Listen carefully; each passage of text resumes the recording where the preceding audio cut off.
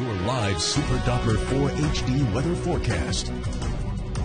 And live Super Doppler 4 HD showing no precipitation across the area. We'll start to see a few patches of drizzle, light rain, and fog develop as we go through the overnight hours. In fact, that's going to be the case tonight and tomorrow. Kind of dreary weather, a little bit cooler because of the clouds and a little bit of the rain. And then unseasonably warm weather still in the forecast for over the weekend. And even mild early next week, but more showers on the way as the next storm system comes in.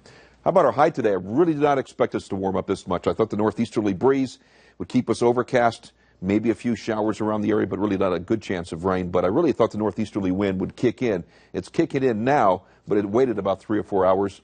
I'm not complaining. I'm just glad because the breaks in the clouds and with that big ridge of high pressure on top of us, it didn't take long for us to warm up to 70 degrees officially at the GSP International Airport. That's 18 degrees above the average. Missed the all-time record by 9 degrees, 79 degrees set way back in 1949 on the state.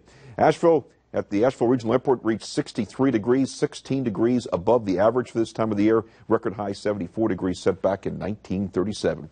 Mild temperatures continue even through northeastern Georgia, 57 in Clayton to 68 degrees in Danielsville. Through North Carolina, temperatures in the 50s, even around 60 in Rutherfordton and in Columbus, way above average for this time of the year. And it is just hard to believe, but we're going to get colder basically about a week from today, we're going to start cooling down considerably. 61 right now in Gaffney. Everybody's in the low to mid to even upper 60s. 67 right now in Greenwood, 68 degrees in Newberry, 63 right now in Pickens. So there's that east to northeasterly breeze starting to pick up speed a little bit in the upstate at about 6 to 7 miles per hour. Humidity levels remaining very high, so we'll see the patchy fog form as this warm front lifts up from the south to the north. 70 in Augusta right now, 70 in also in Columbia, 56 in Greensboro, and in the Raleigh-Durham area. There's the warm front. You can see the showers starting to develop along this warm front. And as it lifts, here come the rain showers and the drizzle and the fog overnight tonight, continuing tomorrow. The piece of energy back here that produced all the flooding back into Texas and Louisiana will weaken considerably before it gets here. But take a look. We'll go down to Houston first.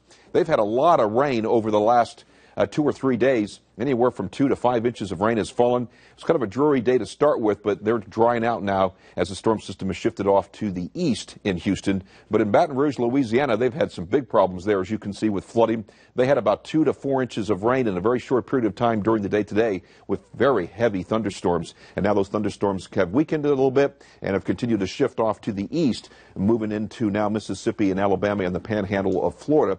Uh, but we're not expecting any heavy rain here. Colder out to the west, but not extremely cold for January, that's for sure. The real Arctic air still remains well to our north up in Canada. So here's our warm front then tomorrow morning. So a good chance of low clouds, fog, drizzle, and rain for us. Warm front passes by. We'll get a little bit milder, but still with all the clouds and the off and on showers from the cold front, we'll still be a little bit cooler than certainly than today. Patchy drizzle, fog developing across the area. Low 52 in the upstate, 46 in the mountains for tomorrow.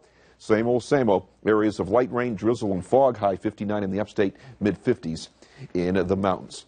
Four day plus looks like this. Then we dry out and warm up for the weekend. Partly sunny to mostly cloudy skies. Maybe a shower as early as Sunday afternoon for the mountains, and then more rain comes in early next week. But even then, it's still going to be nice and white.